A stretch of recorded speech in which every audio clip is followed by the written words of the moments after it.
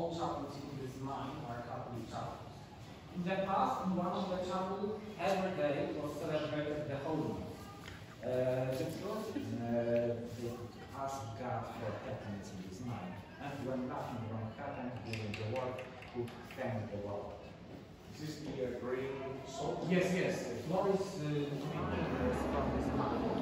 Uh, to decorate the chapel from 1890